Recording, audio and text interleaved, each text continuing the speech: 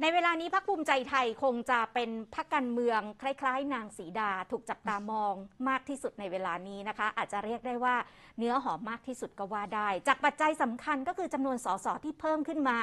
หลังการเลือกตั้งในปี 2562 มากกว่า 10 คนค่ะ นี่อาจจะเป็นเงื่อนไขสำคัญที่นำไปสู่การเปลี่ยนขั้วอำนาจในทางการเมืองนะคะ แต่ว่าถ้าเรามาดูสถานการณ์เหตุบ้านการเมืองที่เป็นปัญหารุมเร้ารอบด้านอยู่ณขณะนี้การจะเปลี่ยนขั้วอำนาจทางการเมืองไม่น่าจะเป็นเรื่องง่ายอะนะคะ สอดคล้องกับนักวิชาการก็ชี้ถึงดีลทางการเมืองว่ากับขั้วตรงข้ามเนี่ยเป็นความเสี่ยงของภูมิใจไทยเช่นกัน ติดตามจากคุณดาวีชัยคีรีค่ะอย่างที่เรียนนะครับ ถ้าดีต่อกันมันก็อยู่กันได้เรื่อยๆ ถ้าไม่ดีต่อกันมันก็อยู่กันเป็นรอบๆนะครับสัญญาณชัดจากภูมิใจไทยที่เกิดจากท่าทีไม่เลือกข้างวางตัวเป็นกลาง พร้อมร่วมงานกับทุกขั้วการเมืองเพ ราะเห็นว่าทุกพักการเมืองคือเพื่อนทำให้ภูมิใจไทยถูกจัดอันดับเป็นพักเนื้อหอม และมีเครดิตทางการเมืองเป็นที่ยอมรับ จึงตกเป็นพักที่น่าจับตาที่สุดณเวลานี้ และถ้าประมวลภาพทางการเมือง หากภูมิใจไทยตัดสินใจจับมือกับขั้วไหน โอกาสเป็นรัฐบาลก็มีมากเท่านั้น โดยเฉพาะการจับมือกับขั้วอำนาจทางการเมืองกับเพื่อไทย แต่นักวิชาการกลับสะท้อนว่า เป็นความเสี่ยง หากภูมิใจไทยเปลี่ยนขั้ว แม้การเลือกตั้งในอนาคต มีโอกาสได้ที่นั่งเพิ่ม หรือเกือบร้อยคน และอาจถูกเสนอชื่อให้นั่งเก้าอี้นายกรัฐมนตรี ดูดีลกับพรรคเพื่อไทยได้เนี่ย แต่การทำงานมันจะไม่ราบรื่น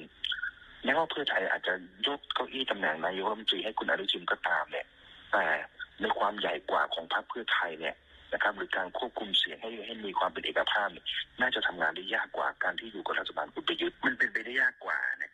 ครับผมคิดว่าเป็นเกมเสี่ยงที่ผมคิดว่าคุณอนุทินเนี่ยเล่นแล้วมองว่าเป็นเกมอันตราย ดูแล้วว่าจะโดนโดนบีบโดนต่อรองในหลาย ๆ เรื่อง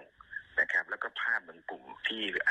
การเดินเกมภูมิใจไทยเนี่ยมีแนวคิดกับฝ่ายอนุรักษ์นิยมมาตลอดเนี่ยในขณะเดียวกันท่านรวมกับเพื่อไทยเนี่ยสิ่งหนึ่งที่ภูมิใจไทยขาดไปเช่นนั้นจะโดนตั้งคำถามว่า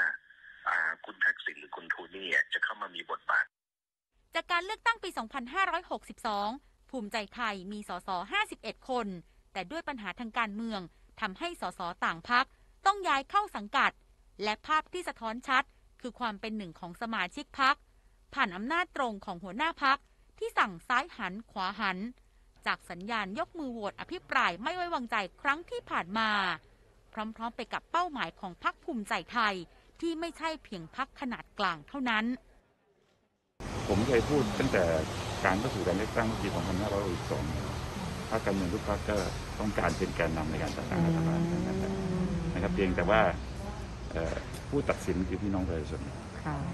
สนามเลือกตั้งหน้านี่หวังใหญ่เลยเอาเลือกตั้งครั้งนี้เนี่ยครั้งนี้ให้เรียบครั้ร้งอยนี้นะคะกำลังจะถึงนี่ค่ะ